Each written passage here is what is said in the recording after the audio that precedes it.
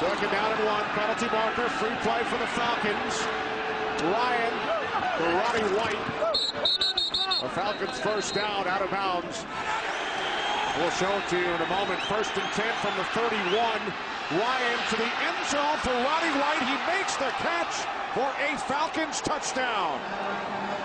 I tell you what, they got they got chewed out during the break, and that's how they come out and respond. I mean, that is unbelievable to me when Mike Singletary pulls you together as a team and challenges you, and this is your response, a receiver running free into the end zone. On third down and nine, Ryan fires, and the catch is made at the 42-yard line for a Falcons first down.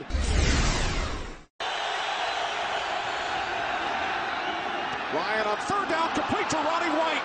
White is across midfield. Roddy White is going to take this all the way.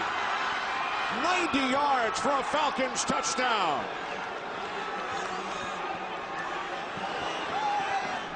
I tell you, that's Nate Clements, too. Nate Clements is one of the better corners in the league, in my opinion. He never gets his head around to find the ball. He gets his hand up. Sportsmanlike conduct, number 84, after the score.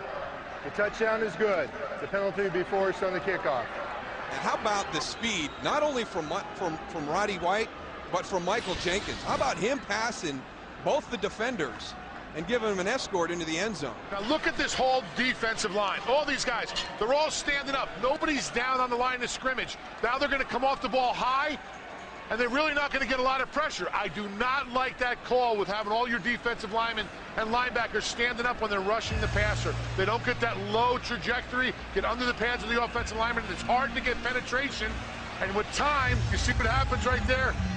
Matt Ryan to Roddy, and it's six points. Well, the other big thing, Goose, is that's another element that was missing from this offense, the explosive pass play. And they really wanted to focus on it during the off week. Second down and five for the Falcons. Ryan. And it's caught. Down at the one-yard line. Guess who? Roddy White. Terrific first half for Matt Ryan. Ryan rolling right. He throws. And Roddy White in 49ers territory. Second down at 11. Ryan complete to Roddy White as he continues to extend his franchise record. 10 more yards. Now 210 on eight receptions today.